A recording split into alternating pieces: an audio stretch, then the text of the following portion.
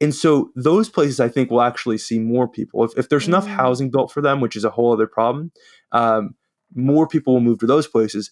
But there will, will also be a move, and we're seeing this with remote work, where you don't have to be tied to the office. And so in the past, where you maybe had to go work in, in an office building um, five days a week, you maybe only have to do it one day a week or two days a week. And that might let you live two hours away in a, maybe in the town you grew up, or maybe in a in a smaller or mid-rise community, um, a mid-sized community.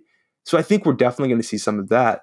I think the biggest trends are people demanding that they should be able to walk to do their everyday needs. They should be able to bike to do it as well. Mhm. And that, you know, cars are really expensive and they can be fantastic. I'm not here to say we should get rid of all cars.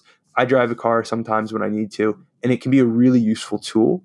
But we wouldn't build our world around being able to hammer in uh, loose nails, right? If every building had loose nails that just need to be hammered in, you'd be like, ah, that doesn't seem safe. You know, it, it's great that we have these hammers to get to nail these these buildings in, um, but we probably shouldn't have that many buildings that could collapse. Um, and the same way with cars and highways. It's great that we can get around by cars, but when we orient our entire communities around cars, that seems dangerous and not doesn't really make full sense. You know, between communities, great. If you're going to the, to a farm, if you're going, you know, out to certain uses, there need to be roads, there need to be highways, and there need to be emergency vehicles in communities too. We still need cars and vehicles in communities, but not to the extent that they are. And I think there's a lot of people who are finally questioning that because they might go on Pinterest or Instagram or TikTok and see a really lovely city or a town and go, hey, why don't we have that in our backyard? Why can't I bike in my backyard? Um, and so I think that's the biggest trend.